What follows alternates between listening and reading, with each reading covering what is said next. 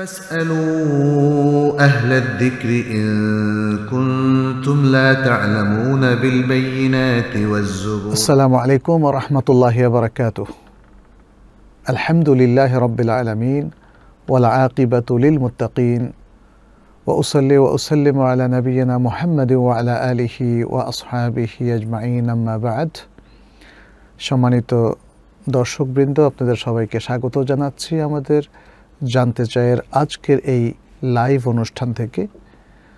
আমরা আজকে জানতে চাই সেশন একশো উনচল্লিশতম পর্ব শুরু করতে যাচ্ছি।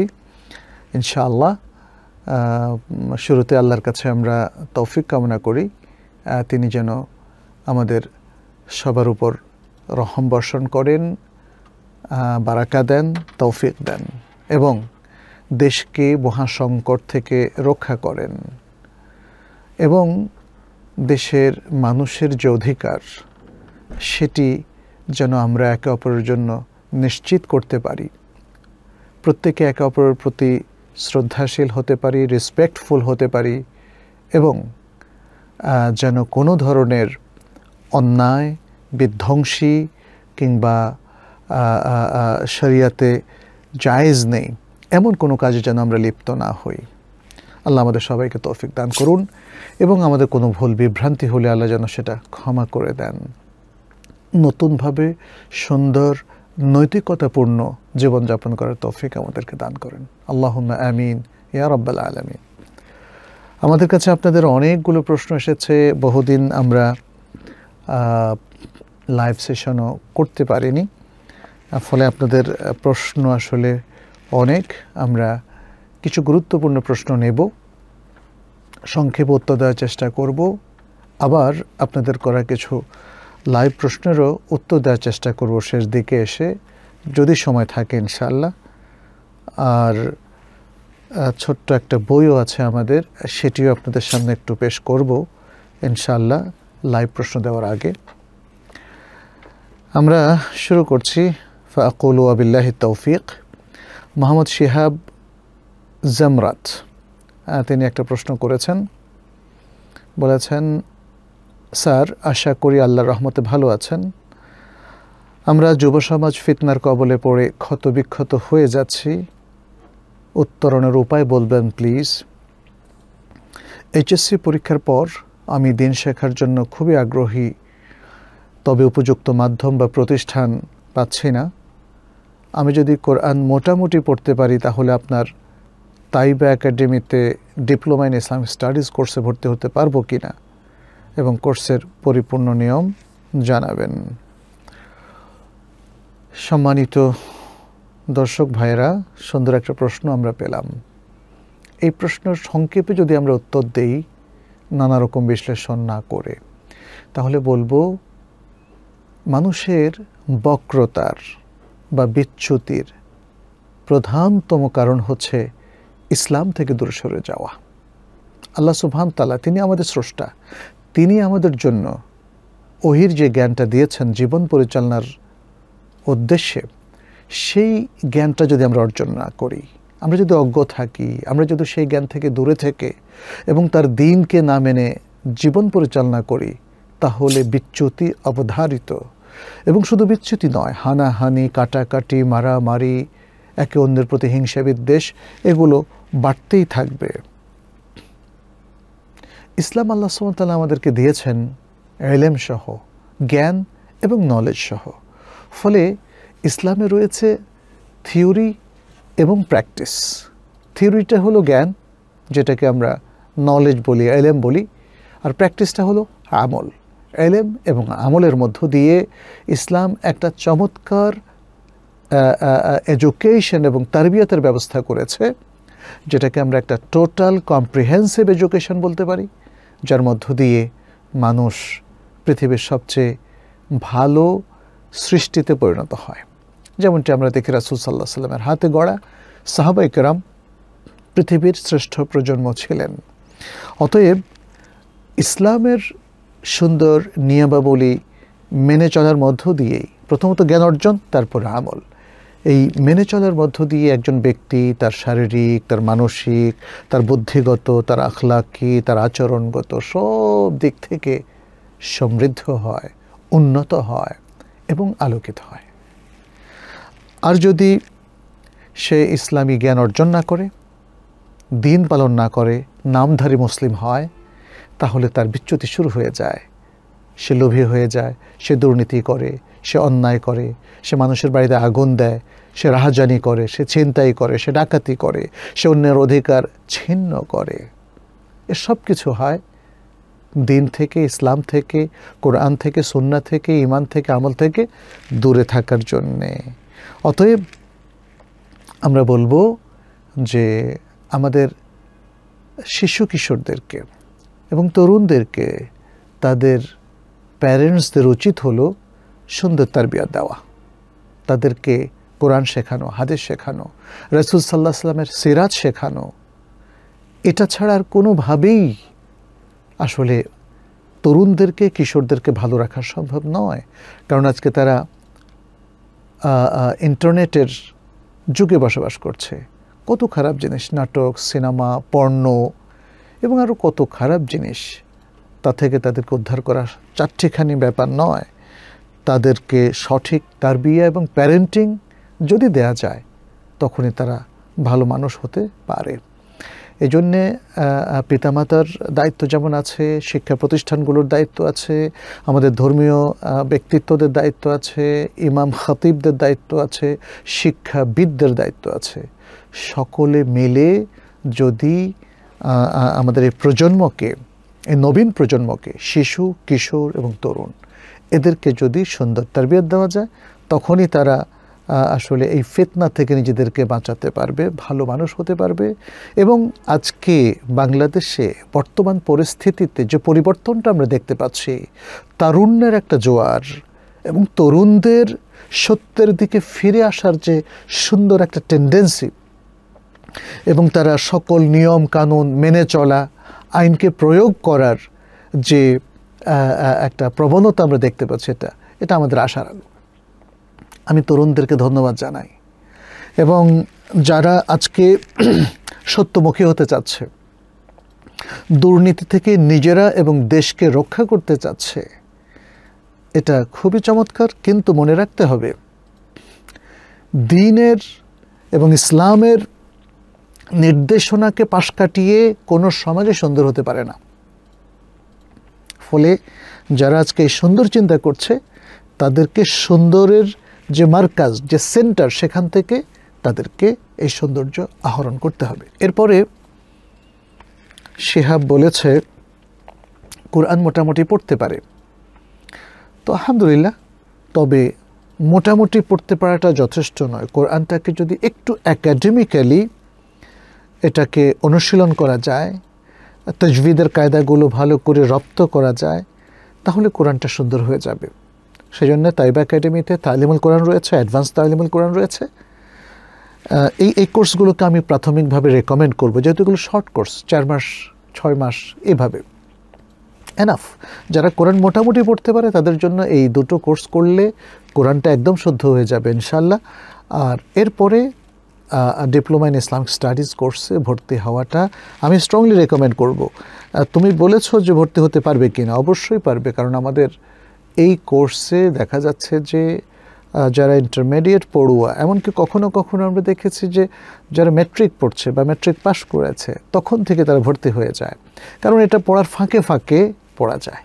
তেমন কোনো কঠিন নয়, বিশেষ করে ফার্স্ট ইয়ারে এবং ইন্টারমিডিয়েট ফার্স্ট ইয়ারে পড়া যায়। ইন্টারমিডিয়েট পাসের পরেও সহজেই ভর্তি হওয়া যায়। আমি এনকারেজ করছি এটা এটা পড়াটা জরুরি। যারা জেনারেল এডুকেশনে আছে, ইসলামের বেসিক নলেজটা না হলে জীবনটাকে তো আমরা সুন্দর করতে পারব না। এলেমটা তো বাজার থেকে কিনতে পাওয়া যায় না। যে একটা প্যাকেট এলেম কিনে নিয়ে আসলাম খাবারের মতো খেয়ে ফেললাম আর আলেম হয়ে গেলাম। নো এলেমটা অর্জন করতে হয় নলেজটা অর্জন করতে হয়। আর ইসলামিক জ্ঞানের অর্জনের দ্বিতীয় দিকটা হচ্ছে আমল করা। এই জন্য যিনি কোরআন মুখস্থ করেছেন, তিনি রাতে তাহার যদি কেয়ামুল্লাইলে কোরআন পড়বেন আমরা দেখি যে হাফিজরা প্রতি রমজানে আসলে তারাবিতে কেন পড়ায়? কারণ কোরআনটা তখন শক্তিশালী হয়। আর আমলটা যদি ঠিকমতো করা যায়, তাহলে এলেমটা শক্তিশালী হয়। অতএব এলেম আর আমলের সমন্বয়ের মধ্য দিয়ে আমাদেরকে জীবনযাপন করতে হবে। সেজন্য পর্যাপ্ত এলেম অর্জন করাটা প্রয়োজন। তাইবা একাডেমি হচ্ছে আমাদের জেনারেল এডুকেটেড সকল তরুণ, তরুণী এবং সকল বয়সের মানুষের জন্য একটা চমৎকার প্ল্যাটফর্ম আমি আপনাদেরকে এখানে এনরোল করার জন্য আহ্বান জানাচ্ছি। সরবিত কানন, এটা সম্ভবত কোনো একটা নিক নেম হবে প্রশ্ন এসেছে, নারী পুরুষ ফেতনা থেকে বাঁচতে বিয়ের পূর্বে নারী পুরুষের করণীয় ঠিক কতটা কঠোর হওয়া উচিত? পরিপূর্ণ গাইডলাইনের প্রত্যাশা করছি।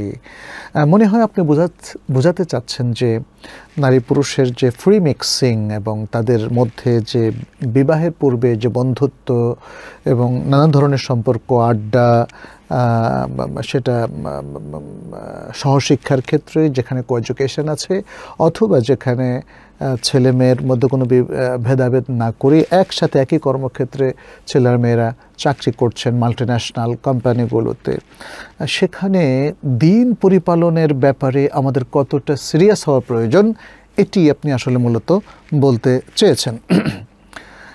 এটা তো বলার অপেক্ষা রাখে না। যে একজন মুসলিমকে অবশ্যই তার ইমান আমল, আখলাক, নৈতিকতা এবং নারীদের সাথে ফ্রি মিক্সিং থেকে নিজেকে রক্ষা করার ব্যাপারে হান্ড্রেড পার্সেন্ট সিরিয়াস হতে হবে।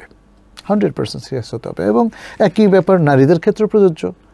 তিনিও তো একজন মানুষ, দুজনই পরিপূর্ণ মানুষ। ইসলাম মানুষ হিসাবে দুজনের মধ্যে কোনো ভেদাভেদ করেনি। পুরুষও একজন মানুষ, নারীও একজন মানুষ। ফলে পুরুষকে যদি দিনের ব্যাপারে সিরিয়াস হতে হয়, নারীকেও সিরিয়াস হতে হবে। এবং তারা বিবাহের পূর্বে অবৈধ কোনো প্রণয় করতে পারবে না ফ্রি মিক্সিংয়ে সম্পৃক্ত হতে পারবে না তারা গার্লফ্রেন্ড বয়ফ্রেন্ড কালচারে সম্পৃক্ত হতে পারবে না, বরং তারা নিরাপদ দূরত্ব বজায় রাখবে। একজন পুরুষ নারীদের সাথে পর্দা করবে, একজন নারী পুরুষদের সাথে পর্দা করবে এবং এটি সুরান নূরের তিরিশ, একত্রিশ নম্বর আয়তে খুব চমৎকারভাবে বলা হয়েছে। এবং আমরা দেখি যে নারী পুরুষের কাছাকাছি আসার একটাই নিয়ম ইসলাম রেকমেন্ড করেছে।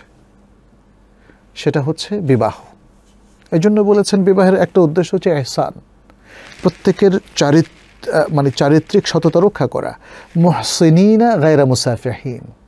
কোরআন স্পষ্ট করে বলছে পুরুষদের ক্ষেত্রে যে তারা চারিত্রিক সততা রক্ষা করবে এবং কারোর সাথে অবৈধ প্রণয়ে লিপ্ত হবে না, জেনা ব্যবচারে লিপ্ত হবে না। এবং মেয়েদের ক্ষেত্রে একই কথা বলা হচ্ছে, মোহসানাত, গায়রা মুসাফিহাত। তারাও বিবাহ বন্ধন আবদ্ধ হবে তাদের সতীত্ব রক্ষার জন্যে এবং তারাও কোনো ধরনের জেনা, ব্যবচার, অবৈধ প্রণয় এবং ফ্রিমিক্সিংয়ে সম্পৃক্ত হবে না। কোরআনের ব্যাপারে খুবই কঠোর এবং অত্যন্ত চমৎকার প্রোগ্রাম দিয়েছে এবং এই প্রোগ্রামের মধ্যে থাকলেই সমাজের নারী পুরুষরা শালীনতার মধ্যে থাকবে।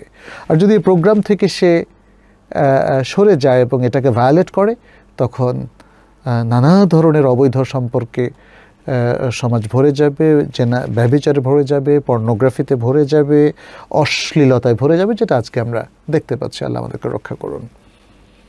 ইবনু আবদুল্লাহ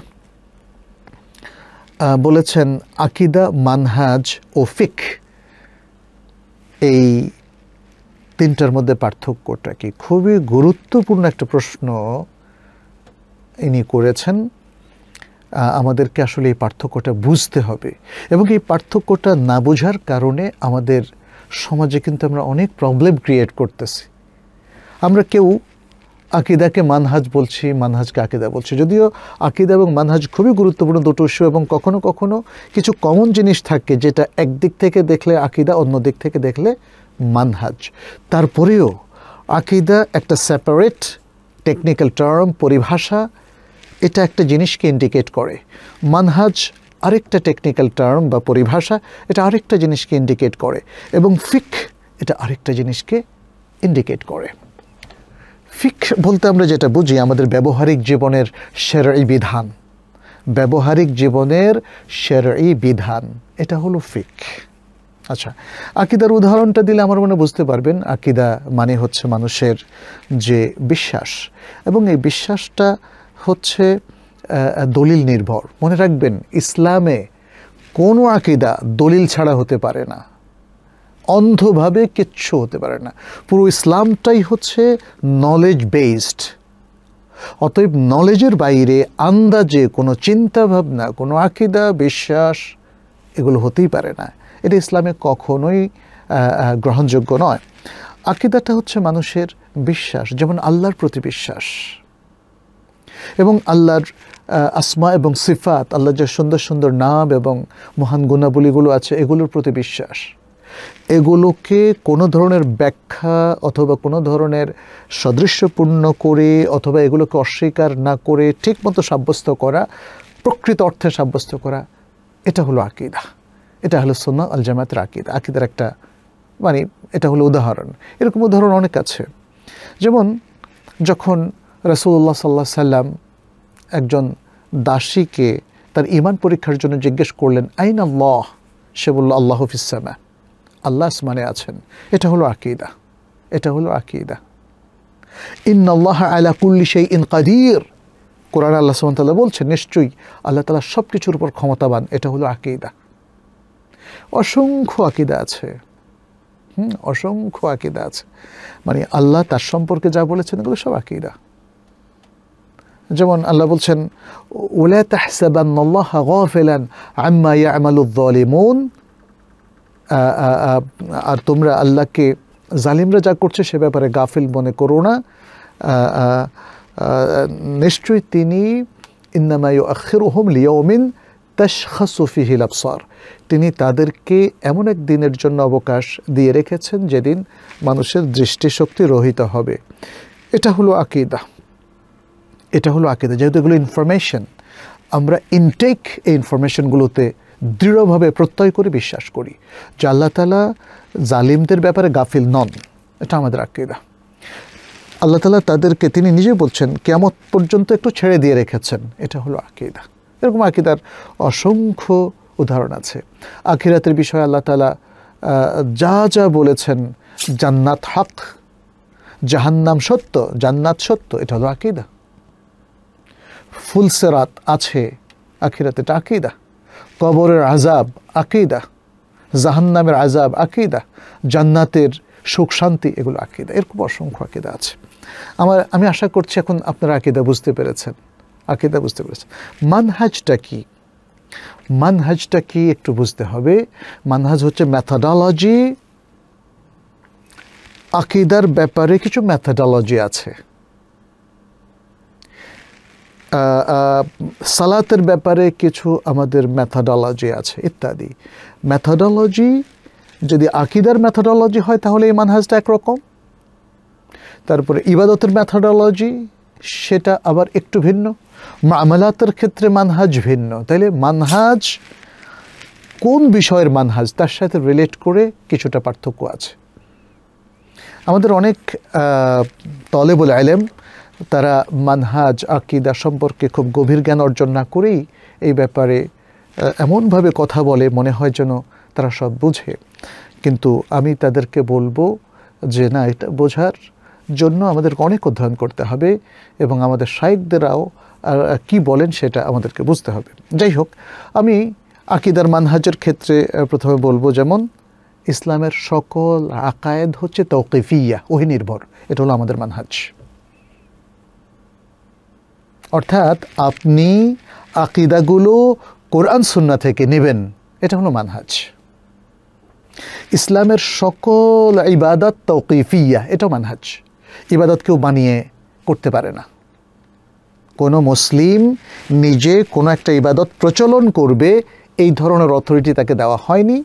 কোনো মুসলিম যদি দলিলের বাইরে গিয়ে নিজে কোনো রকম ইবাদত প্রচলন করে, সেটা হবে সম্পূর্ণ বেদাত। অথবা রসুল সাল্লাহ আলাইসাল্লাম কর্তৃক যে ইবাদতগুলো আল্লাহর পক্ষ থেকে আমাদের জন্য দেওয়া হয়েছে, সেগুলো তিনি যেভাবে ডিসক্রাইব করেছেন, সেটার সাথে যদি আমরা কোনো কিছু অ্যাড করে দেই, অথবা কিছু একটা বাদ দিয়ে সেটাকে আরেকটা নিজস্ব ফরম্যাট দেই, তাহলে এগুলো বেদাত হয়ে যাবে। তাহলে দেখেন মানহাজটা কি? মানহাজটা হচ্ছে প্রত্যেক ইবাদত তৌকিফিয়া, অর্থাৎ ওহি নির্ভর ওহির বাইরে কোনো ইবাদত তৈরি করা যাবে না। আচ্ছা আরেকটা জিনিস আমি বলি, যেমন আল্লাহর আসমা ক্ষেত্রে মানহাজটা কি? অর্থাৎ আল্লাহর নামগুলো, সুন্দর সুন্দর যে নামগুলো আছে। এক্ষেত্রে মানহাজটা হচ্ছে আহলে সুন্নাল জামাতের মানহাজ, এটা বুঝতে হবে, যেটি কোরআন সুন্না থেকে যেটা যেটা নেওয়া হয়েছে যে মানহাজটা। তো সে মানহাজটা হলো যে আল্লাহর সকল নাম হয় কোরআনে থাকবে, নয় সুন্নাতে থাকবে। আমরা আল্লাহকে কোনো নাম দেব না। আপনি আল্লাহতে বিশ্বাস করেন, আল্লাহকে ভালোবাসেন, আল্লাহর একটা নাম আপনি দিয়ে দিলেন, এটা হবে না।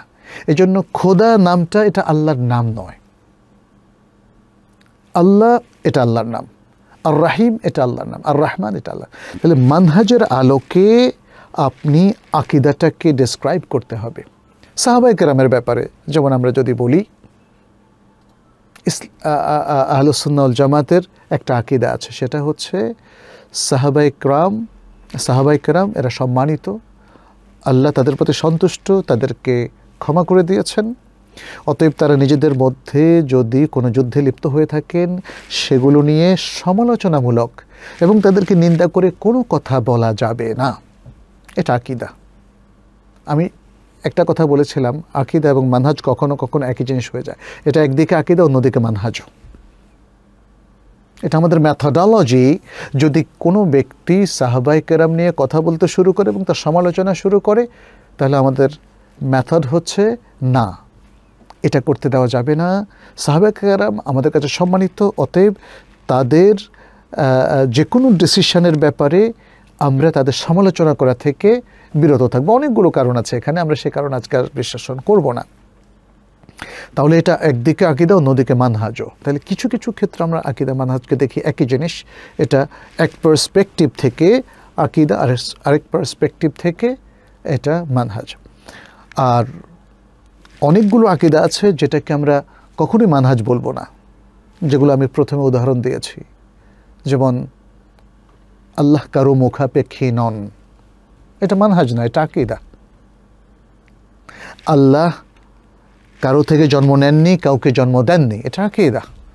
লামি লামিয়ালিদ ও লাম ইউলাদ। এটা আকিদা। এটা মানহাজ না। এটা আকিদা। সলিড কথা, এটা আকিদা। আল্লাহ আসমানে আছেন, এটা আকিদা।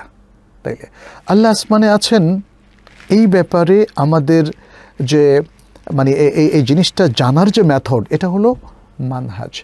অতএব আমরা বলব যে আপনি আকিদার মানহাজটা যদি ঠিকমতো জানেন, তাহলে আকিদায় আপনি কখনো ভুল পথে অগ্রসর হবেন না। আপনাকে আরও দেখতে হবে যে যেমন আমরা আল্লাহর সেফাতের ক্ষেত্রে দেখি, সেফাত ফেলিয়া আছে, সেফাত দাতিয়া আছে ইত্যাদি যে সেফাতগুলো আছে, সেগুলোকে বোঝার জন্য কিছু মানহাজ আছে। সেগুলোকে বোঝার জন্য কিছু মানহাজ আছে। সেফাতগুলো আকিদা। কিন্তু এগুলো বোঝার পদ্ধতিটা হলো মানহাজ। ইবাদতের ক্ষেত্রেও আমাদের আকিদার কিছু বিষয় আছে। যেমন, আল্লাহ ছাড়া আর কারও ইবাদত করব না, এটা আমাদের আকিদা। আল্লাহ ছাড়া আর কারও ইবাদত করা যাবে না। লা ইউবাদু ইল্লাল্লাহু ওয়াহদা এ কথাই আল্লাহ তালা কোরআনে বলছেন। ইয়াবুদু নানি ওলা ইউশুরুকুনা বিহি বি শাই আ তারা আমার ইবাদত করবে, আমার সাথে কারোর সাথে শরিক করবে না, আমার সাথে কোনো কিছু শরিক করবে না। তাহলে দেখা গেল যে, এটা হলো ইবাদতের ক্ষেত্রে আকিদা। ইবাদতের ক্ষেত্রে মানহাজটা কি? মানহাজ হচ্ছে যেটা আমরা বললাম, কোনো ইবাদত বানানো যাবে না, সব ইবাদত দলিল নির্ভর হবে। আচ্ছা এখন ফিক ব্যাপারটা কি? মনে রাখবেন ফিখের মধ্যেও কিছু সেটেলড ইস্যু আছে। ফিখের মধ্যেও কিছু সেটেলড ইস্যু আছে। যেমন সালাত পাঁচ ওয়াক্ত, যেমন হজ, এটা মক্কাই করতে হবে, এটা মক্কার বাইরে মদিনা গিয়ে কোনো হজ হবে না। তাওয়াফ হবে শুধু বাইতুল্লার তাই না? এগুলো সেটেলড ইস্যু এরকম ইস্যু প্রচুর। তবে ফেখের কিছু ইজতেহাদি ইস্যুও আছে, এটা মনে রাখবেন। ফেখের কিছু ইজতেহাদি ইস্যুও আছে। ইজতেহাদি ইস্যু কি? যেমন মামালাতের ক্ষেত্রে। কোন ধরনের বেচা কেনা, যেগুলোকে আপনি জায়েজ বলছেন, সেগুলো ক্ষেত্রে আপনি সেগুলোকে কীভাবে তৎবেক দেবেন? আজকের ই কমার্সটা কীভাবে জায়েজ, কীভাবে হারাম? ই কমার্স তো রাসুল সাল্লাহ যুগে ছিল না, তাই না? এরকম অনেক ইস্যু আছে। আমরা দেখি যে ইজতেহাদি অনেকগুলো ইস্যু যেটাকে মাসলাহা মোরসালা বলা হয়। মাসলাহা মোরসালা, এটা পুরোটাই ইজতেহাদি। ওমর ইবুল খত্তাব রাদি আল্লাহ তালানহু পরবর্তীতে ওসমান ইবনে আফান রাদি আল্লাহ তালানহু পরবর্তীতে আলী ইবনে আবি তালিব রাদি আল্লাহ তালানহু তারা তাদের রাষ্ট্র পরিচালনার ক্ষেত্রে বিভিন্ন রকম তারা সিদ্ধান্ত নিয়েছেন যেগুলো উম্মার মাসলাহাতে তারা করেছেন। অথচ আগে এগুলোর কোনো এক্সাম্পল রাসুল সাল্লাহ আসলামের যুগে ছিল না। যেমন রাষ্ট্র পরিচালনার ক্ষেত্রে বিভিন্ন সেক্টর এবং দপ্তর ভাগ করা, সিজিল বা দিওয়ান তৈরি করা ইত্যাদি আরও অনেকগুলো ইস্যুজ আছে। তারপরে কোরআনকে এক জায়গায় জমা করা হ্যাঁ ইত্যাদি ইত্যাদি অনেকগুলো ইস্যুজ আছে। এগুলো ফেকে ইস্যুজ বললাম যে ফেকের দুটো পার্ট একটা হলো ফিক্সড আর একটা হলো ইস্তেহাদি আচ্ছা ইস্তেহাদি ইস্যুর মধ্যে অনেক কিছু আছে। আমাদের অনেককে আমরা দেখি যে ফিকহি ইস্যুর ইস্তেহাদি ইস্যুগুলোকেও তারা মানহাজের মধ্যে ঢুকিয়ে দেয়। ফলে তখন নানা রকম কথাবার্তা শুরু হয়ে যায় এবং ভুল বোঝাবুঝি শুরু হয়। ইস্তেহাদের ক্ষেত্রে আমাদের কিছুটা নমনীয় থাকতে হবে। কারণ ইজতেহাদ করার মতো যোগ্যতা যদি কোনো আলেমের থাকে, তাহলে তিনি যদি সেখানে ইজতেহাদ করেন, ভুল করেন, তাহলে তার এক সওয়াব। রসুল সাল্লাহ সাল্লাম বলেছেন, যদি কোনো ব্যক্তি ইজতেহাদ করে সঠিক সিদ্ধান্তে আসে, তাহলে তার দুই সওয়াব। যদি কোনো ব্যক্তি ইজতেহাদ করে ভুল করে, তাহলে তার এক সওয়াব। কোনো পাপের কথা বলা হয়নি। আমরা ব্যবসা বাণিজ্যের ক্ষেত্রে, ইসলামের নির্দেশনাগুলোকে বাস্তবায়নের ক্ষেত্রে এখানে দেখি যে ব্যাপক একতলাফ রয়েছে। আপনারা আপনারা যদি ইন্টারন্যাশনাল যে স্ট্যান্ডার্ডটা আছে শরিয়া স্ট্যান্ডার্ড যেটা আউফি, বাহরাইন ভিত্তিক বিশ্ববিখ্যাত মুসলিম স্কলার, ফোকাহা এবং যারা ইসলামিক ফিনান্সের এক্সপার্ট, তারা এটা এই স্ট্যান্ডার্ডটা তারা বিভিন্ন গবেষণার মধ্য দিয়ে তৈরি করেছেন। এবং এটা ইসলামিক ফেখেরই একটা সারাংশ আমরা বলতে পারি। সেখানে দেখা যাচ্ছে অনেক একতলাফ। আপনারা যদি ফেখের বইগুলো পড়েন, সেখানে দেখবেন বিভিন্ন মামালাতের ক্ষেত্রে অনেক একতলাফ। নেকাহের মধ্যে অনেক একতলাফ, তালাকের মধ্যে অনেক একতলাফ, তারপরে বুয়ুয়ের মধ্যে অনেক একতলাফ। তাহলে যেটা সিয়াসা বা রাজনীতি বলি, রাজনৈতিক সমাধান নিয়েও কিন্তু অনেক একতলাফ এগুলো ইজতেহাদের বিষয়। এগুলো ইস্তেহাদের বিষয়। কিন্তু দুঃখের সাথে আমরা লক্ষ্য করি, রাজনৈতিক ইস্যুগুলোতেও আমাদের অনেক ভাইরা এটাকে মানহাজ বানিয়ে নিয়েছেন এবং নিজের মতটাকে সেরাই মানহাজ, ফিক্সড মানহাজ হিসাবে চালিয়ে তারা দেখা যাচ্ছে যে নানা রকম কথাবার্তা বলছেন, সমালোচনা করছেন। এখানে আমরা দেখি যেমন সাহাবাই কেরাম দেখেন সাহাবাই কেরামের মধ্যে রাজনৈতিক ইস্যুতে কিন্তু প্রচুর একতলাফ হয়েছিল। সাহাবাই কেরামের প্রতি এই ইখতলাফগুলো সত্ত্বেও আমাদের পরিপূর্ণ ভালোবাসা, শ্রদ্ধা রয়েছে এবং তার কোনো কমতি নাই। এগুলোকে কি আপনি যদি মানে এই ইস্যুগুলোকে যে সমাজ চালাতে গিয়ে, রাষ্ট্র চালাতে গিয়ে, পরিবার চালাতে গিয়ে, ব্যবসা বাণিজ্য চালাতে গিয়ে যে ইস্যুগুলো তৈরি হয় এবং এখানে যে এক এক স্কলার এক একটা মত দিয়েছেন, এগুলোকে যদি মানহাজ হিসেবে কারার দেন, তাহলে তো মুশকিল হয়ে যাবে। বরং এখানে এগুলো ইস্তেহাদি ইস্যু। এখানে মানহাজ কি? ইস্তেহাদি ইস্যুতেও কিছু মানহাজ আছে। সেটা হচ্ছে কোরআন সুন্নাকে এক নম্বরে রাখতে হবে। তারপরেও কোরআন সুন্নাকে এক নম্বরে রাখার পরেও আমরা দেখছি এক একজন এক এক মত পোষণ করেছেন। আমরা যেটা দেখি, হোসেন রাদি আল্লাহ তালন যখন কুফাতে যাচ্ছিলেন, তখন কেবারুস সাহাবা তাকে নিষেধ করেছেন। কিন্তু তার ইস্তেহাদ ছিল অতি উত্তম ইস্তেহাদ ছিল। তিনি চাচ্ছিলেন যে, না, তারা আমাকে ডাকছে, আমি সেখানে গেলে হয়তো ইসলামের কোনো একটা মাসলাহাত হবে। তাই না? তাহলে এখানে কি মানহাজ ধরবো আমরা? না, এখানে ইজতেহাদ।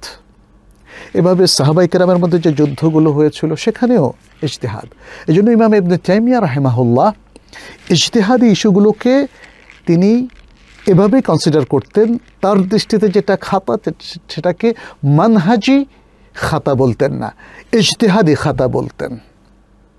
ইজতেহাদি খাতা।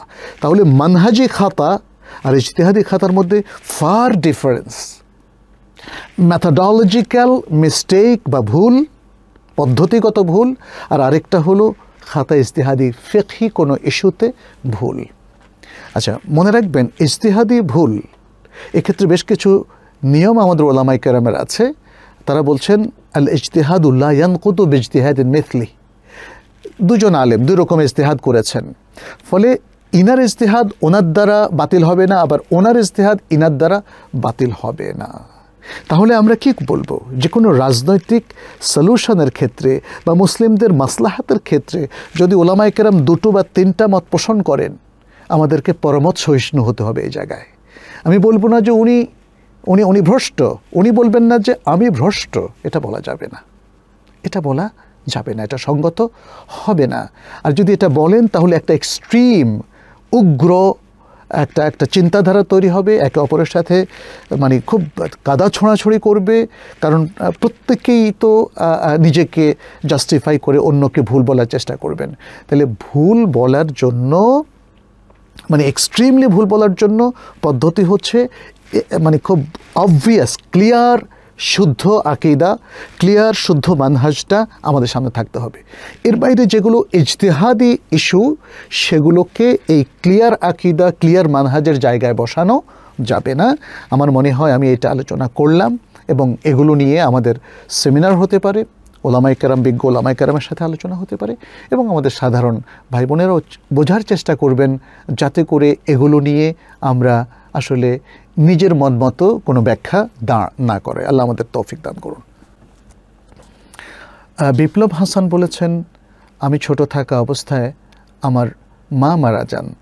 আমার নানার অনেক সম্পদ আছে। সেই সকল সম্পদের ওয়ারিস কি আমি হব?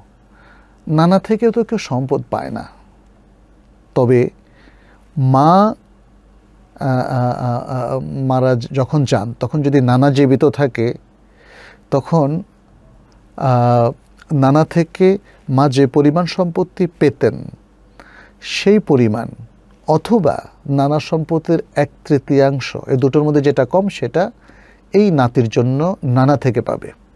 কিন্তু এখানে নানার অনেক সম্পদ আছে, কেন নাতি, এখানে নাতি বলতে দৌহিত্র আর কি, মেয়ের ঘরের যে সন্তান সে নাতি দৌহিত্র।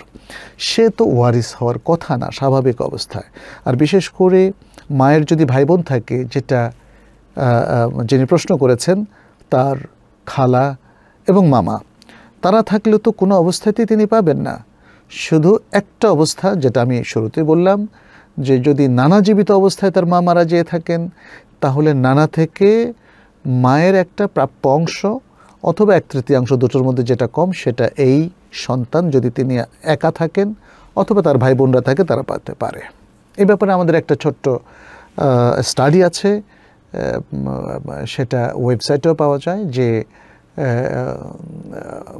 বাবা যদি দাদার আগে মারা যায়, মা যদি নানার আগে মারা যায়, তাহলে এই দাদা এবং নানা থেকে তাদের নাতি নাতকুর এবং দৌহিত দৌহিত্রী এরা পাবে কি না খুব সুন্দর একটা আর্টিকেল আমরা দিয়েছি। মোহাম্মদ সিফাত বলেছেন, কাউকে নির্দিষ্ট করে শহীদ বলা যাবে কি না কাউকে নির্দিষ্ট করে শহীদ বলা যাবে কি না এটাকে দুভাবে আমরা তুলে ধরব। এক, যে এই এইভাবে মারা গেলে তিনি শহীদ হবেন, এভাবে বলা। দ্বিতীয়, যে অমুক ব্যক্তি, যেমন নাবিল অথবা মোহাম্মদ অথবা ইমরান মারা গিয়েছে সে শহীদ। এভাবে ব্যক্তিকে সুনির্দিষ্টভাবে বলা। দুরকম তাহলে। প্রথম যেটা আমরা বললাম, কোনো একজন সুনির্দিষ্ট ব্যক্তির নাম বলে যে সে শহীদ হয়েছে, এটা না বলে বলা হবে কীরকম? যেমন যারাই আল্লাহর পথে জীবন দিয়েছেন, আল্লাহর কালামকে অথবা আল্লাহর কালিমা বাণীকে উচ্চকিত করার জন্য তারা শহীদ। কুল্লমান কোতেলা ফিসাবিল্লাহ ফাহুয়া শহীদ। যারাই আল্লাহর পথে নিহত হয়েছেন তারা শহীদ। অথবা বলা হলো মান কুতেলা দুন আমালিহি ফাহুয়া শহীদ, যেটা মুসলিম শরীফের একটা হাদিস। যে ব্যক্তি নিজের সম্পত্তি রক্ষা করতে গিয়ে নিহত হয়, সে শহীদ।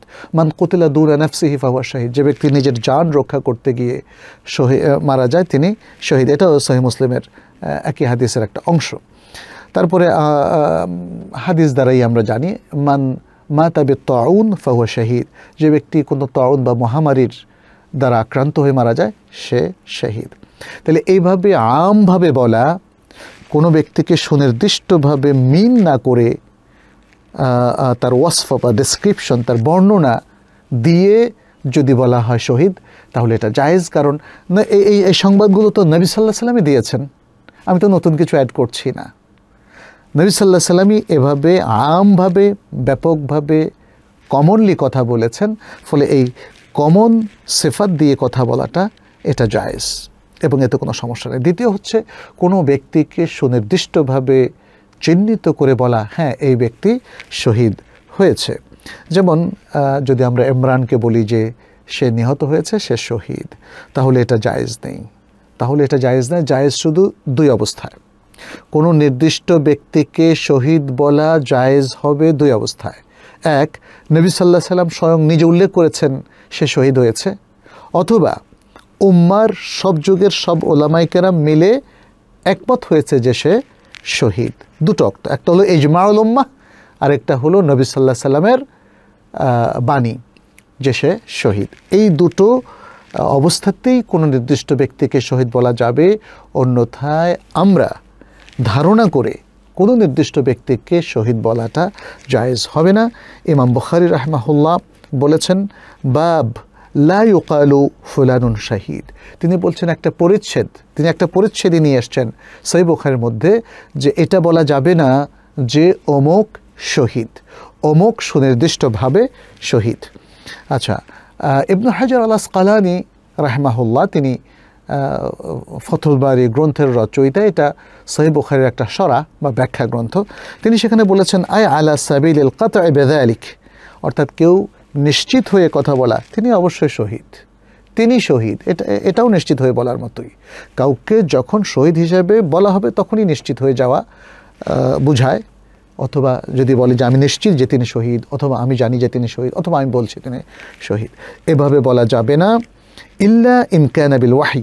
তবে যদি ওয়াহির মারফতে জানা যায় যে অমুক ব্যক্তি শহীদ, তাহলে তাকে শহীদ বলা যাবে। এখানে দেখা যাচ্ছে যে ইবনু হাজার যে কথাটা বলেছেন তারও একটা ভিত্তি আছে। অমর আব্দুল খত্তাব রাজি আল্লাহ তাল্লাহর একটা হাদিস তিনি সেখানে খোদবা দিয়েছিলেন, বলেছিলেন, তাকুলুনা ফিমা গাজী কুম ফুলানুন শাহিদুন। তোমরা তোমাদের যুদ্ধের মধ্যে বলো যে, অমুক ব্যক্তি শহীদ ওমাতা ফুলানুন শাহিদান, অমুক ব্যক্তি শহীদ হিসেবে মৃত্যুবরণ করেছেন। তিনি এরপরে বললেন, আলা আলা তাকুলু দালিকম সাবধান, তোমরা এরকম বলো না। ওলাকিন কৌলু, বরং তোমরা বলো, কামা কালা রসুল্লাহ সাল্লাহ সাল্লাম যেমনটি রসুল্লাহ সাল্লাহ সাল্লাম বলেছেন মানমা তাফি সাবিল্লাহ যারা আল্লাহর পথে মারা গিয়েছেন, আও কুতেলা অথবা নিহত হয়েছেন, ফাহুয়া শহীদ, তারা শহীদ। এভাবে আমভাবে বলো, খাসভাবে বলো না। আর এই হাদিসটা হাসান, যেটা ওমর আব্দুল খত্তাব থেকে আমরা পেয়েছি, এবং হাদিসটা ইমাম আহমদ, সাঈদ মুনস- মনসুর সহ আর অনেকেই বর্ণনা করেছেন। আচ্ছা এখানে আমরা জানি যে শহীদ হওয়ার জন্য একটা শর্ত আছে। সে শর্তটা কি? আই ইউকাতিলা লিতাকুনা কালিমাতুল্লাহ হিয়াল উলিয়া। এই জন্য যুদ্ধ করা এই জন্য সংগ্রাম করা যে আল্লাহর বাণীটাই এখানে প্রতিষ্ঠিত হবে। আল্লাহর বাণীকে প্রতিষ্ঠিত করার জন্য যদি কেউ যুদ্ধ করে, জেহাদ করে এবং যদি কেউ সংগ্রাম করে, তাহলে সেটাই হবে জিহাদ। কিন্তু এই যে, এই জন্যই যে সে করেছে, এটা তো তার অন্তরের নিয়ত। এই নিয়তটা তো খুলে দেখার অথবা দেখানোর কোনো সুযোগ নেই, এটা জানারও কোনো সুযোগ নেই। ফলে আল্লাহই ভালো জানেন কে প্রকৃত শহীদ আর কে প্রকৃত শহীদ নেও। এখানে নবী সাল্লাহ সাল্লাম এই বিষয়টার প্রতি ইঙ্গিত করে একটা সুন্দর কথা বলেছেন। তিনি বলেছেন মাথালুল মুজাহিদ ফি সাবিলিল্লাহি আল্লাহু আলমু বিমান ইউজাহিদু ফি সাবিলিহ। আল্লাহর পথে যিনি মুজাহিদ দৃষ্টান্ত। এ কথা বলতে গিয়ে তিনি বললেন, আর আল্লাহই জানেন যে কে তার পথে জিহাদ করে। আমাদের জানার কোনো সুযোগ নেই। হ্যাঁ হয়তো এটা ইসলামিক জিহাদের একটা প্লট বা ইসলামের উদ্দেশ্যেই হয়তো কাজগুলো হয়েছে। কিন্তু তারপরেও চিহ্নিত করে একজনকে বলা যে সে আল্লাহর দিনকে প্রতিষ্ঠা করার জন্য এই কাজটা করেছে, এরা তো বলা যাবে না। এটা আল্লাহ জানেন, আমরা বলতে পারব না। নবী সাল্লাহ সাল্লাম আরেকটা হাদিস যেটি বোখারিতে এসেছে আবু হরাদি আল্লাহ তাল্লাহ থেকে তিনি বলেন ওল্লাদি নাফসি বিয়াদিহি লা ইউকলামু আহাদুন ফি সাবিলিল্লাহ والله أعلم بمن يكلم في سبيله إلا جاء يوم القيامة ذلك إلا جاء يوم القيامة وكلمه يثعب دما اللون لون الدم والريح ريح المسك বলছেন যে যার হাতে আমার প্রান্ত শপথ করে বলছি যে আল্লাহর রাস্তায় যেই আহত হয়, জখম হয়, আর আল্লাহই ভালো জানেন যে তার রাস্তায় কে জখম হয়। সুহান আল্লাহ মানে তার নিয়তটা আল্লাহই ভালো জানেন, আমরা জানি না। যারই, যেই আল্লাহর রাস্তায় জখম হয়, সে কেমতের দিন এমনভাবে আসবে যে তার জখম থেকে রক্ত বের হতে থাকবে, তার রক্তটা তার রং হবে রক্তের রং এবং তার শরীরের থেকে যে গন্ধটা বের হবে, সে গন্ধটা হবে মেস্কের গন্ধ। তাহলে এখানে বোঝা যাচ্ছে যে কাউকে সুনির্দিষ্টভাবে শহীদ বলে উল্লেখ করা এটা এটা এভাবে যাবে না। যদি সেটা সম্ভব নবী সাল্লামের পক্ষে, অথবা ওম্মা যাদের ব্যাপারে একমত হয়েছে, তাদের ব্যাপারে বলা যাবে। আর অন্যদের ব্যাপারে ধারণা করে বলা যাবে না, তবে কমনলি বলা যাবে। তবে একটা কথা আমাদের ওলামাই কেরাম বলেছেন, হুম, যেমন ইবনু তাইমিয়া তার কাছ থেকে এরকম একটা কথা পাই যে যে ব্যক্তির বাহ্যিকভাবে বোঝা যায় যে একজন ভালো লোক, সে দিন প্রতিষ্ঠার জন্য সংগ্রাম করেছে এবং অধিকার, নিজের অধিকার আদায়ের জন্য আল্লাহর কালিমাকে বুলন করার জন্য কাজগুলো করেছে, তাহলে তার ব্যাপারে আমরা আশা করি যে তিনি শহীদ হবেন। তাহলে আমরা আশা করি। এটা বলা যাবে, আমরা আশা করি। অথবা আমরা দোয়া করি যে তিনি শহীদ হবেন। আমরা দোয়া করি অথবা আমরা আশা করি, যেটা বলেছেন যে নারজুলাহু দালিক, ওয়ালা নশহাদুলাহু বিহি, কিন্তু আমরা তার জন্য সেটা সাক্ষ্য দেব না, শুধু তার ব্যাপারে সেটা আমরা আশা করব। এবং আরেকটা কথা ওলামাই কেরাম বলেছেন ওলা নসি উবিহিদান তার ব্যাপারে আমরা খারাপ চিন্তাও করব না। এ কথা বলব না যে, না, তিনি শহীদ হন নাই। তিনি শহীদ হয়েছেন, এটাও বলব না, তিনি শহীদ হন না, এটা বলবেন না, বলব না, তবে আশা করি আল্লাহ যে তার শাহাদাত কবুল করবেন অথবা তার জন্য সেটার জন্য আমরা দোয়া করব। ইমাম ইবনে তাইমিয়ার কথাটা একটু বলি, তিনি কি বলেছেন? তিনি যে কথাটা বলেছেন, তার সারাংশটা হলো লাইয়াজুজু আন্নাশহাদা লেশাকসিন বেআইনিহি আন্নাহু শাহিদুন ইল্লা বেনাসিনা ও ইত্তেফাক। যে কোনো ব্যক্তিকে সুনির্দিষ্টভাবে তার জন্য সাক্ষ্য দেওয়া যে তিনি শহীদ, এটা জায়েজ নেই। তবে এটা জায়েজ হতে পারে যদি কোনো দলিল পাওয়া যায় হাদিসের অথবা উম্মার সকলে একমত হয়। লাকিন মানকানা জাহিরুহু আসলাহ ফা ইন্নানা নারজু লাহু দালিক তবে যার প্রকাশ্য অবস্থা যে সে ভালো এবং তার নিয়ত ভালো বোঝাই যাচ্ছে, তাহলে তার জন্য আমরা সেটা আশা করব, প্রত্যাশা করব, দোয়া করব। ব্যাস, এতটুকুই। আশা করি প্রশ্ন উত্তরটা আপনাদের সামনে ক্লিয়ার হয়েছে। তালহা ইসলাম বলেছেন আসলে তিনি তিনটা প্রশ্ন করেছেন। আমি সংক্ষেপে একটু উত্তর দিই। আগের প্রশ্নগুলো সংক্ষেপ করতে চাইলেও আসলে লম্বা হয়ে গেছে, আমি সেই জন্য দুঃখিত প্রথম প্রশ্নটা, তলহা ইসলাম করেছেন, অমুসলিমদের বই পড়া যাবে কি? তাদের বই পড়ার ক্ষেত্রে কি কি নীতিমালা ফলো করব। অমুসলিমদের বই, এটা যদি ফিজিক্স কেমিস্ট্রি ম্যাথ হয়ে থাকে তাহলে হতে পারে, কারণ সেখানে মুসলিম, অমুসলিমের মধ্যে কোনো ভেদাভেদ নেই। কিন্তু এটা যদি ইসলাম সম্পর্কে হয়ে থাকে, আল্লাহ সম্পর্কে হয়ে থাকে দিন সম্পর্কে হয়ে থাকে, আখলাক সম্পর্কে হয়ে থাকে, আকিদা সম্পর্কে হয়ে থাকে ইমান সম্পর্কে হয়ে থাকে, তাহলে এটা নিষিদ্ধ।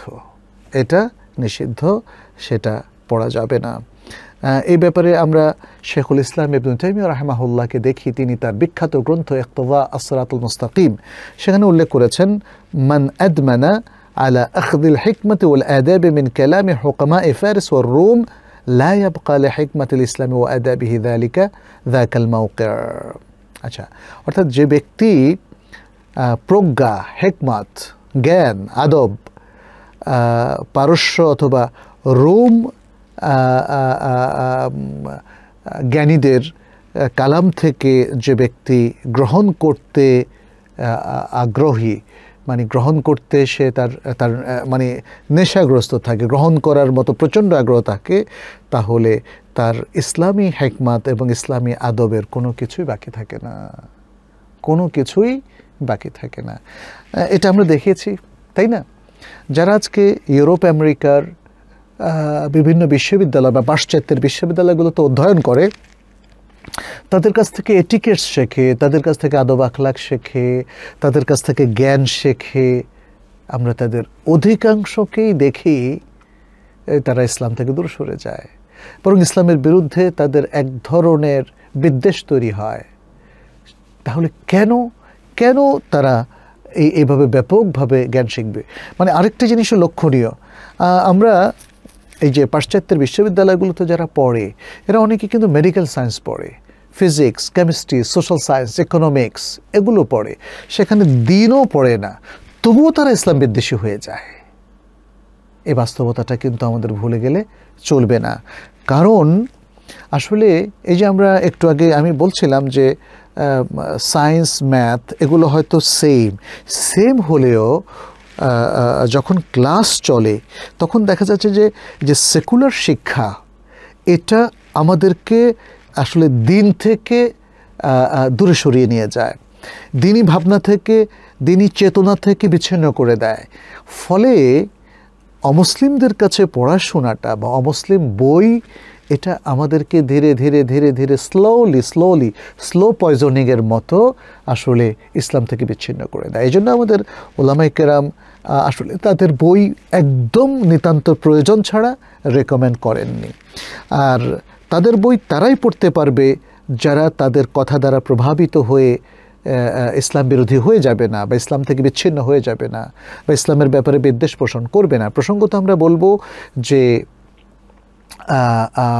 অমুসলিমদের মধ্যে বিশাল একটা সংখ্যা, যাদেরকে আমরা ওরিয়েন্টালিস্ট বলি বা প্রাচ্যবিদ তারা আমাদের ইসলাম সম্পর্কে, আমাদের জীবনধারা সম্পর্কে, আমাদের মুসলিমদের নানা ইস্যু নিয়ে তারা কথাবার্তা বলেছে, লিখেছে, আর্টিকেল, গবেষণা ইত্যাদি, নানা কিছু বইয়ের পর বই রচনা করেছে।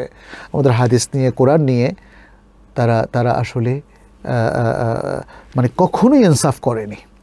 কখনোই ইনসাফ একজন ইনসাফ করেনি, একজন ইনসাফ করেনি। যারা লিখতে গিয়ে বুঝ বা পড়তে গিয়ে দেখেছে যে ইসলাম সত্য, তারা ইসলাম গ্রহণ করে ফেলেছে। যেমন doctor Maurice Bucaille, doctor Roger Garaudy, এরকম আরও অনেক পাশ্চাত্যের মনীষীরা আছেন যারা ইসলাম গ্রহণ করে ফেলেছেন। কিন্তু যারা ইসলাম গ্রহণ করেনি, তাদের উদ্দেশ্যটা খারাপ ছিল এবং তারা science, social science, even humanities কিংবা আরও যা কিছুই ধর্ম, দিন এটিকেট জানিয়ে লেখুক না কেন, সেখানে ইসলামের প্রতি তারা মিথ্যারোপ করেছে। ইসলামের ইতিহাসকে তারা সঠিকভাবে উপস্থাপন করেনি। নবী সাল্লাহ সাল্লামকে সঠিকভাবে তুলে ধরেনি। নবী সাল্লাহ সাল্লামের সাহাবাই কেরাম এবং তাদের স্ত্রীদের পরিবার আহাদুল বাইত কাউকে তারা সঠিকভাবে তুলে ধরেনি।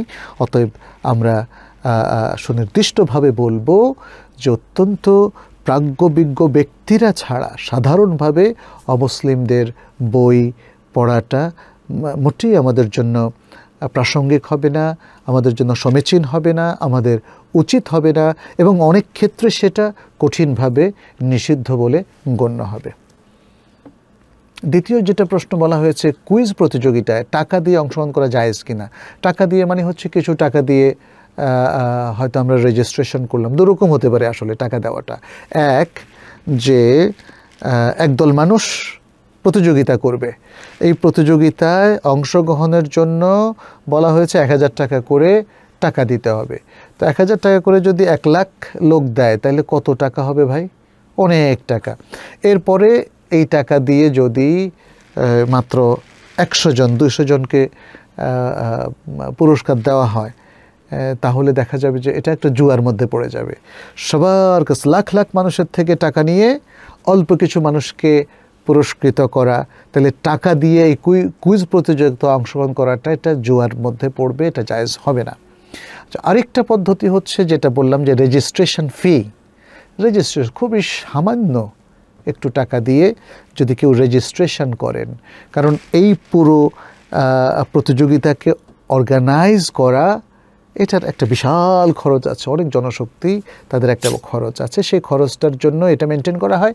মূলত কর্তৃপক্ষ স্টুডেন্টদেরকে বা শিক্ষার্থীদেরকে বা প্রতিযোগীদেরকে একসাথ করে তারা ইসলামী জ্ঞানের কোনো প্রতিযোগিতা করতে চান। তাহলে এই যে ছোট্ট রেজিস্ট্রেশন ফিটা দেওয়া হলো, এটা মূলত সবার থেকে টাকা নিয়ে অল্প কিছু লোকদেরকে পুরস্কার দিয়ে বিদায় করবে, ব্যাপারটা এমন নয়। এটা হলো প্রতিযোগিতা অ্যারেঞ্জ করার, খরচটা মেনটেন করার জন্য। আর তারা প্রতিযোগিতায় যে টাকাটা দিচ্ছে, সেটা কোনো না কোনো স্পন্সর দিয়ে দিচ্ছে। তাহলে ইসলামী জ্ঞানের ক্ষেত্রে এই ধরনের প্রতিযোগিতা জায়েজ আছে। এটা আমরা যেমন ইসলাম ওয়েব ডট কমের মধ্যে আমরা দেখেছি। তারা স্পষ্ট করে বলেছেন যে এই ধরনের প্রতিযোগিতায় যেখানে হয়তো কোনো জ্ঞানের কোনো প্রতিযোগিতা হবে। সেরাই জ্ঞানের হোক ম্যাথমেটিক্সের হোক ফিজিক্সের হোক তারপরে কেমিস্ট্রির হোক, কোনো সমস্যা তাই, এতে নেই। কারণ শরিয়াতে এটা নিষিদ্ধ হওয়ার কোনো দলিল নেই। এখানে আমি সৌদি আরবের ফতোয়াল্লাজনা দায়মাটা আপনাদের সামনে একটু তুলে ধরি, তাহলে হয়তো আরও ক্লিয়ারলি বুঝবেন। সেখানে বলা হয়েছে, লা ইয়াজুজু আখদুল জাওয়া ইজ আলাল মুসাবাকাত। বলছেন যে সাধারণত নানা ধরনের প্রতিযোগিতা হয়ে থাকে। সেখানে পুরস্কার গ্রহণ করা জায়েজ নেই। ইল্লা ইদা কানাত আলা ওয়েফকে মা হাদ্দাদাহুর রাসুলু সাল্লাহ সাল্লাম তবে রাসুল সাল্লাহ সাল্লাম যেভাবে নির্ধারণ করেছেন, যদি সেই পদ্ধতিতে প্রতিযোগিতা হয় এবং সেখানে পুরস্কার দেওয়া হয়, তাহলে সেটা জায়জ হতে পারে। বেআন্তাকুনা আলা রেমায়া, যেমন প্রতিযোগিতার যদি হয়, তীরন্দাজের আও রকুবুল খাইল অথবা ঘোড়ায় চড়া, আউল ইবিল অথবা উটে চড়া। লেআন্না হাদিহি মিন ওয়াসাইল জিহাদে ফিসাবিল্লাহ কারণ এগুলো আল্লাহর পথে জেহাদের উপকরণ। ওয়াল হাকু বিহা বিহা আল মুসাবাকাত ফিল মাসাইল আলমিয়া আর এই মোসাবাকাতগুলো যেগুলো রাসুল সাল্লাহ সাল্লাম রেকমেন্ড করেছেন, এগুলোর সাথে সম্পৃক্ত হবে এলমি বা জ্ঞানমূলক, একাডেমিক মাসালাগুলোর ক্ষেত্রে প্রতিযোগিতা। যেমন সাধারণ জ্ঞান প্রতিযোগিতা বা ইসলামী জ্ঞানের প্রতিযোগিতা, বা কোরআনের প্রতিযোগিতা ইত্যাদি। আল্লাতি হিয়া মিনাল আহকামি সারাইয়া যে জ্ঞানগুলো এটা শরিয়াতে আহকামের অন্তর্ভুক্ত হবে এবং এর সাথে কোনো ধরনের বিরোধপূর্ণ হবে না। তারা বলছেন, এই ধরনের হলে সেটাও জায়েজ হবে। অন্য অন্য রাসুল সাল্লাহ সালামের রেকমেন্ডেড প্রতিযোগী প্রতিযোগিতাগুলোর সাথে। আচ্ছা তিনি তারা আরও বলেছেন ওইস্তারাত ফিল জায়েজা আন্তাকুনা মিনাল মুবাহ। তারা বলেছেন, জায়েজা বা পুরস্কারের ক্ষেত্রে শর্ত একটা আছে, সেটা হলো সেটা মুবাহ হতে হবে। সেটা জায়েজ হতে হবে, না জায়েজ হলে সেই পুরস্কারও গ্রহণ করা যাবে না। আমার মনে হয় মোটামুটি আপনি ক্লিয়ার হয়েছেন। আচ্ছা তৃতীয় যে প্রশ্নটা জনাব তলহা ইসলাম করেছেন, বলেছেন, আমি যদি বাবার কোনো একটা গুরুত্বপূর্ণ কাজ করে দেই, সেটার জন্য তিনি অন্য কাউকে টাকা দিতেন, সে কাজটা যদি আমি করে দিই, তাহলে কি আমি পারিশ্রমিক হিসেবে টাকা নিতে পারব? হ্যাঁ তাতে কোনো অসুবিধা নেই। বাবা তার সন্তানকে, তার কোনো ফার্মে, তার কোনো দোকানে, অথবা তার সাংসারিক কাজেও খাটিয়ে তাকে পয়সা দিতে পারেন, এতে কোনো অসুবিধা নেই। তবে আপনি যে উদাহরণটা দিয়েছেন, বলেছেন, আমি যদি কোরবানিতে বাবাকে সাহায্য করি, বিনিময়ে তিনি কি, আমি কি টাকা নিতে পারব বা আমার বাবা কি আমাকে খুশি হয়ে কিছু দিতে পারবে? কোরবানি মানে এই যে জবে করা, তারপরে মাংস তৈরি করা ইত্যাদি। তো এগুলোর ক্ষেত্রে যদি কসাইকে কোরবানির মাংস থেকে না দিয়ে অন্যভাবে টাকা দেওয়া হয়, তাহলে তো সেটা যায় যাচ্ছে তাহলে সেক্ষেত্রে সন্তান হিসাবে বা পরিবারের যে কোনো সদস্য বা ভাতিজা, এরকম আত্মীয় স্বজন এই কাজটা করে দিলে তাকে টাকা দিতে কোনো অসুবিধা নেই। সেতু বিন্তু মঞ্জু বলেছেন, ঘরের বারান্দায় যদি আসরের পর বা সন্ধ্যায় ভেজা বা শুকনো কাপড় থাকে, সেগুলি যদি ঘরে নিয়ে না আসা হয় এ থেকে কোনো প্রকার সমস্যা হতে পারে? বিশেষত ছোট বাচ্চাদের কাপড়ের ক্ষেত্রে ব্যাপারে ইসলামী নির্দেশনা কি? ইসলামী নির্দেশনা হচ্ছে ছোট বাচ্চাদেরকে সন্ধ্যায় বের হতে নিষেধ করা, তাদেরকে ঘরে ঢুকিয়ে ফেলা। কিন্তু ছোট বাচ্চাদের কাপড় অথবা অন্য যে কোনো কাপড়, যেটা রৌদ্র শুকানোর জন্য ঘরের বাইরে দেওয়া আছে, রশিতে চড়ানো আছে, সেগুলো সেখানে থাকলেও কোনো অসুবিধা নেই, আনলেও কোনো অসুবিধা নেই। সেগুলোর ব্যাপারে শরিয়াতে কোনো সুনির্দিষ্ট কথা আসেনি। এসেছে ছোট বাচ্চাদেরকে যেন সন্ধ্যায় ঘরের বাইরে না রাখা হয়, সে নির্দেশনা। তার মানে সন্ধ্যার পরে ছোট বাচ্চাদেরকে ঘরের বাইরে যেতে নিষেধ করা। এখানে জাবের ইবনে আবদুল্লাহ রাদি আল্লাহ তালানহুর হাদিস যে নবী সাল্লাম বলেছেন ইদাকানা জন হুল্লাইলে আও আমসাইতুম যখন রাত ঘনিয়ে আসে অথবা তোমরা সন্ধ্যায় উপনীত হও, কাফু, ফাকুফু সিবিয়ানাকুম তাহলে তোমাদের শিশুদেরকে তোমরা আগলাও হ্যাঁ আগলে রাখো। ফাইন্না শয়তান ইয়ান্তাসে রহিন এই দিন কারণ শয়তান, জিন শয়তান শয়তান তো জিনেরই অন্তর্ভুক্ত, তারা এই সময়ে ছড়িয়ে ছিটিয়ে পড়ে। হ্যাঁ যদি সন্ধ্যার এই রাতের প্রথম ভাগে কিছু সময়, ঘণ্টাখানেক সময় চলে যায়, তখন তাদেরকে আবার ছেড়ে দিতে পারো। ও আগলেকুল আবু আবা এবং দরজা বন্ধ করে দাও। এরকম আরও অনেকগুলো হাদিস এখানে আমরা পাচ্ছি। যেমন বলা হচ্ছে লাতুর সেলু ফাওয়াশিয়াকুম ওয়াসবিয়ানাকুম ইদা গাবাতিস শামসু। হ্যাঁ সূর্য অস্ত গেলে তখন তোমরা তোমাদের সন্তান এবং এদেরকে তোমরা ছেড়ে দিও না মানে এদিক ওদিক ঘোরাফেরা করতে দিও না। আচ্ছা এখন আমরা যদি আসি কাপড়ের ক্ষেত্রে, তাহলে দেখি যে এখানে সেরিয়া কোনো সুনির্দিষ্ট কথা বলেনি। আর যেহেতু বলেনি, তাহলে বোঝা গেল যে কাপড় রশির উপর বালিয়ে রাখা বা রেখে দেওয়া, এটা শরীয়তে নিষিদ্ধ নয়, সেগুলো আনতে শরিয়া আমাদেরকে বাধ্য করেনি।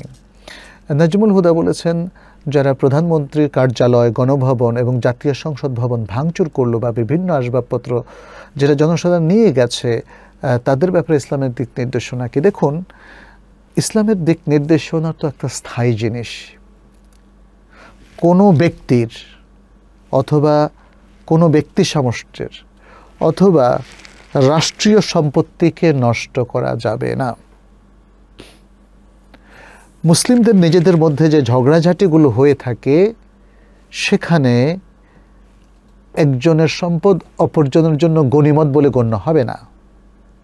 অতএব যারা গণভবনে প্রধানমন্ত্রী কার্যালয়ে বা জাতীয় সংসদে জিনিস ভাঙচুর করেছেন, তারা অন্যায় করেছেন। এগুলো দুষ্কৃতিকারীদের কাজ। আর যারা নানা আসবাবপত্র নিয়ে চলে এসছেন এটাও তাদের জন্য আসলে মোটেই সঙ্গত হয়নি। বরং এই জিনিসগুলো আমরা যেটা দেখেছি, আলহামদুলিল্লাহ, অনেকেই সেগুলো ফেরত দিয়েছেন এবং যারা ফেরত দেয়নি তাদের উচিত হচ্ছে ফেরত দেওয়া।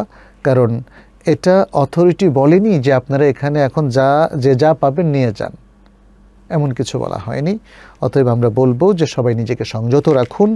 যে কোনো পরিস্থিতিতে আমরা যেন সীমালঙ্ঘন না করে ফেলি, আল্লাহ যেন যা আমাদের অনেক লোকেরা করেছে, আল্লাহ যেন তাদেরকে বুঝ এবং সমজ দান করেন এবং তারা যেন তাদের এই এর জন্য আল্লাহর কাছে তওবা করে এবং কোনো কিছু যদি তাদের কাছে থেকে থাকে অন্যের জিনিস, সেগুলো যেন তারা ফেরত দেয়। উমাইয়া শারবিন রোশনি বলেছেন, স্বামী স্ত্রী দুজনেই দিনদার, তাই স্বামী কোনো জন্ম নিয়ন্ত্রণ পছন্দ করেন না, যার কারণে স্ত্রী বছর বছর গর্ভধারণ করেন। প্রায় তেরো চোদ্দবার স্ত্রী গর্ভবতী হয়েছেন।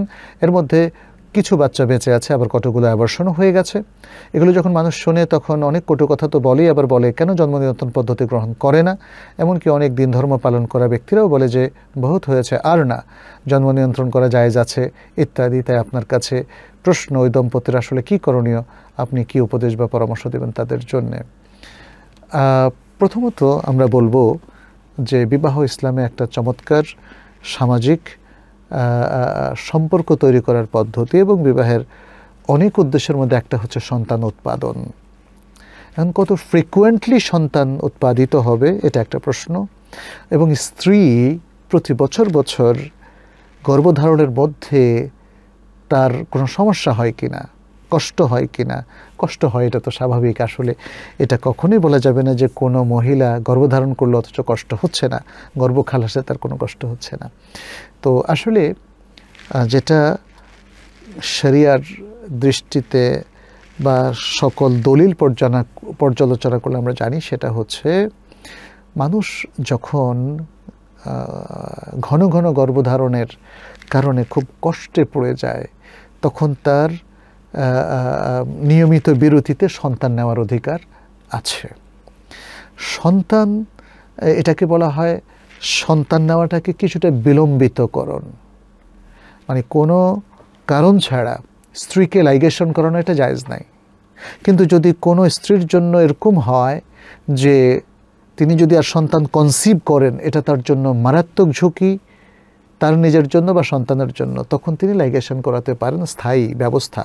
সাধারণ অবস্থায় লাইগেশন বা স্থায়ী ব্যবস্থা এটা জায়জ নেই। পুরুষদের জন্য কখনোই ভ্যাসেকটমি যেটাকে বলা হয়, সেটা কখনোই জায়জ নাই, কারণ পুরুষ তো আর সন্তান ধারণ করে না। আচ্ছা আর এখন সাময়িক জন্ম বিরতিকরণ এটা কি জায়জ আছে কিনা? এটাকে নিয়ন্ত্রণ আসলে বলা যায় না।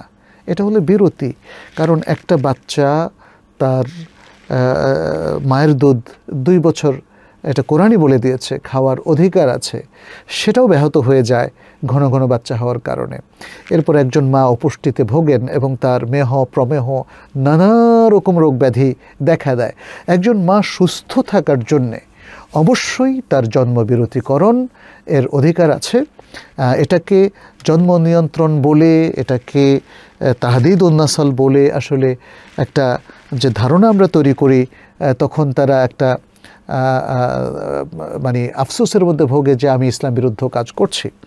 আসলে এটাকে ইসলাম বিরুদ্ধ বলা যাবে না। যদি এই জন্মবিরতিকরণটা তার শারীরিক, মানসিক স্বাস্থ্যের জন্য জরুরি হয়, এবং এটা জরুরি বলেই আমরা জানি। এই ব্যাপারে ইসলামী ফেক কাউন্সিল মক্কার বেশ কিছু রেজলিউশন আছে, সেটা আপনারা পড়ে দেখতে পারেন।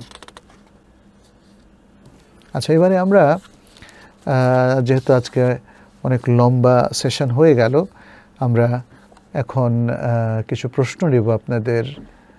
সে প্রশ্নগুলোর আগে আমরা বলেছিলাম যে একটা বই নিয়ে কথা বলব।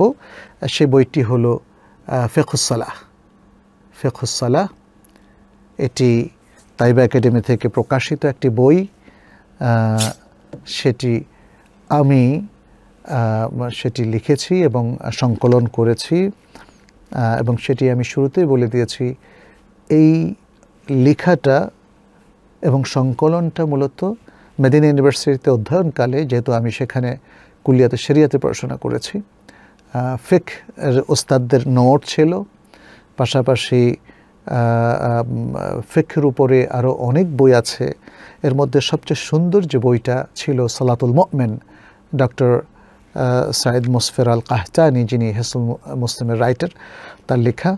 এরকম আরও বই ডক্টর আব্দুল আদিম তার লেখাও বই, এগুলো সবকে সামনে রেখে এবং কোরআন হাদিসের যথেষ্ট দলিল সামনে রেখে আমরা এই বইটি সংকলন করেছি।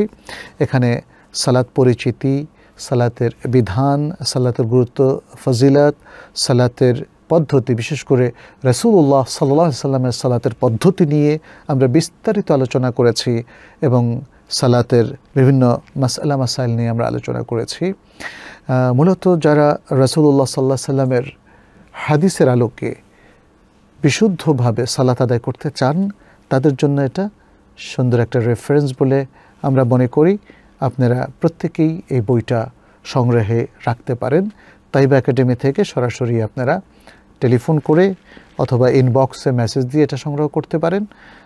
অথবা এটা রকমারি ডট কম কিংবা ওয়াফি লাইফ সেগুলো থেকেও আপনারা সংগ্রহ করতে পারেন। তো আমরা চলে যাচ্ছি আপনাদের আজকের লাইভে করার কিছু প্রশ্ন নিয়ে। সেগুলোর উত্তর দিচ্ছি। দোয়া শুরুতে আল্লাহর প্রশংসা ও নবী সাল্লাহ সাল্লামের উপর দূরত পাঠ করতে হয়। কি বাক্য দ্বারা আল্লাহর প্রশংসা ও নবী সাল্লাহ সাল্লামের দূরত পাঠ করব? দোয়া কবুলের সময় ও স্থান জানতে চাই। অনেক বড় প্রশ্ন করেছেন। দোয়া নিয়ে সম্ভবত আমরা আগেও বলেছি। আলহামদুলিল্লাহ হ্যাঁ? আল্লাহ মালাক আলহামদু আশকর ওলাকাত্তানা হ্যাঁ? ইত্যাদি এভাবে আল্লাহর কিছু প্রশংসা আপনি দিয়ে শুরু করবেন। তারপরে নবী সাল্লামের উপর দুরুদটা আল্লাহ সাল্লাহ আলা মোহাম্মদ ওয়া আলা আলী মোহাম্মদ যে দুরুদ ইব্রাহিম সবচেয়ে উত্তম। এর বাইরেও আপনি বলতে পারেন যেমন ধরেন যদি বলেন, আলহামদুলিল্লাহ রবাহ আলমিন ও সালাত ওসালাম আলা নবীনা মোহাম্মদ ও আলা আলহি ওয়াসাব আজমাইন। এভাবে বলে আপনি দোয়া শুরু করতে পারেন। দোয়া কবুলের সময় তো অনেক। অসংখ্য দোয়া কবুলের সময় আছে। শুক্রবার একটা সময় আছে। সূর্য অস্ত যাওয়ার আগে দোয়া কবুলের সময়। ফরজ নামাজের সালাম ফেরানোর পরে দোয়া কবলের সময়, সফর, হালাতে দোয়া কবলের সময়, মজলুম অবস্থায় দোয়া কবলের সময়, অসুস্থ অবস্থায় দোয়া কবলের সময়, গভীর রাতে যখন মানুষ ঘুমিয়ে থাকে শেষ রাতে দোয়া কবলের সময়, ইত্যাদি ইত্যাদি অনেক স্থান হচ্ছে ফজিলতের স্থানগুলোতে দোয়া কবুলের সম্ভাবনা অনেক বেড়ে যায়। যেমন মক্কা, মদিনা কারবা মসজিদে নবাবী, এরকম বিভিন্ন ভালো ভালো জায়গা।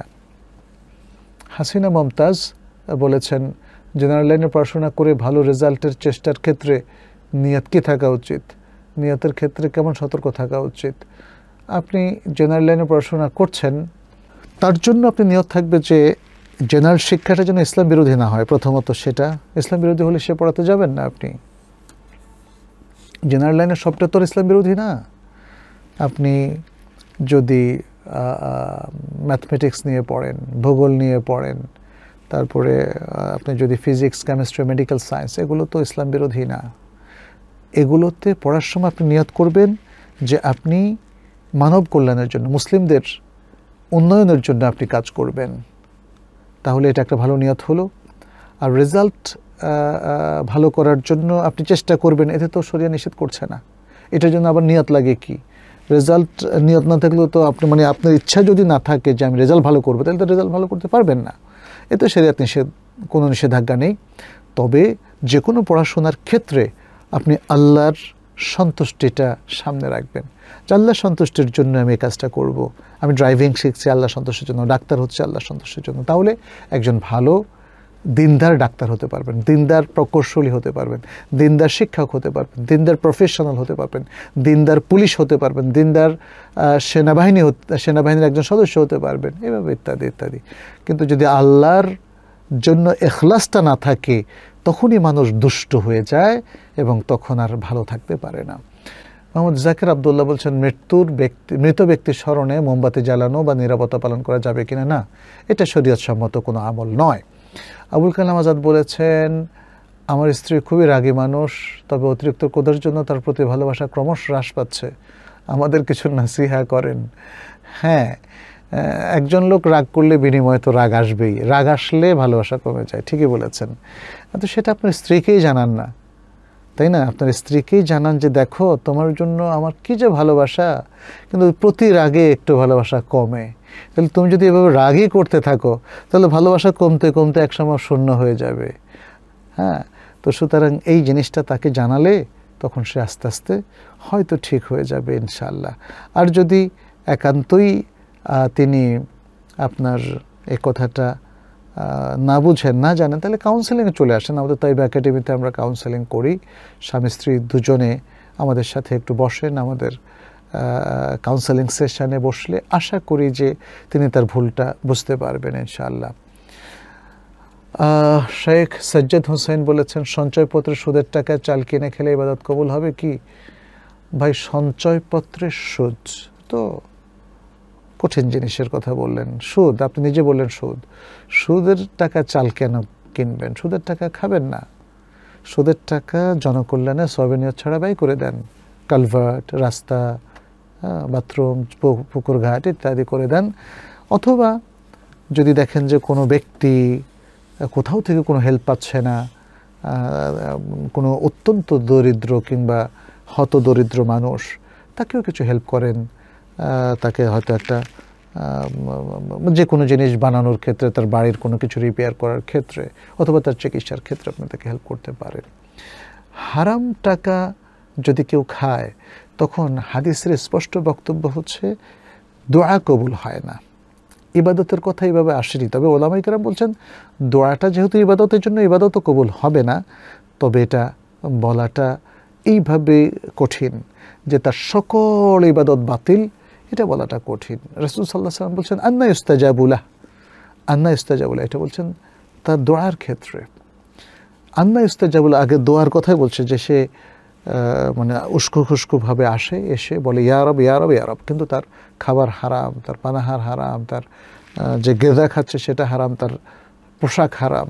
তাহলে তার দোয়া কীভাবে কবুল হবে? অতএব সেটা দোয়ার ক্ষেত্রে নস আছে তবে ইবাদতটা ঝুঁকিপূর্ণ হবে, কোনো সন্দেহ নাই। ফাতিমা সুলতানা বলেছেন, মেয়েরা কি পুরুষ ডাক্তারকে মুখের সমস্যা দেখাতে, চেহারা দেখাতে পারবে? কেন দেখাবে মেয়েরা পুরুষ ডাক্তারকে? মেয়ে ডাক্তার কি নেই? মেয়ে ডাক্তার থাকা অবস্থায় মেয়েরা পুরুষ ডাক্তারকে কিছু দেখাতে পারবে না।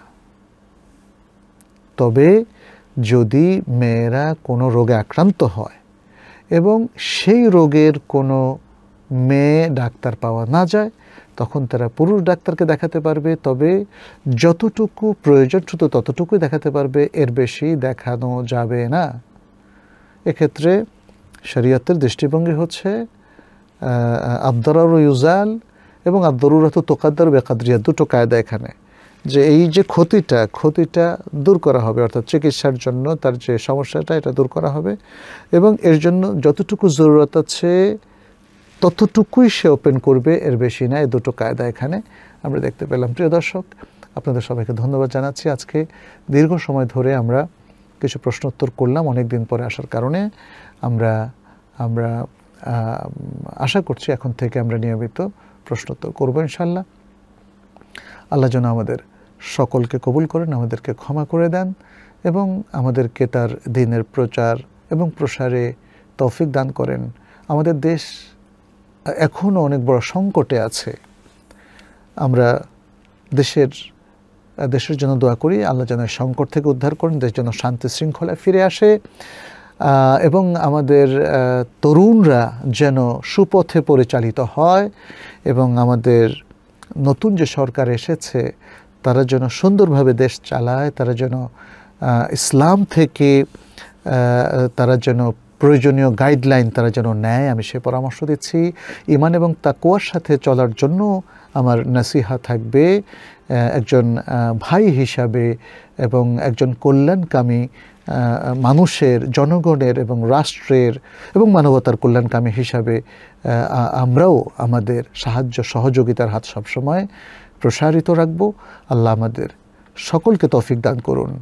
এই দোয়া করে আজকের মতো এখানে শেষ করছি। হাদা সাল্লাহ সাল্লাম আলা নবীনা মোহাম্মদ ওয়ালা আলহি ওয়াসাব আজমাইন। আসসালামু আলাইকুম রহমতুল্লাহ বারকাতু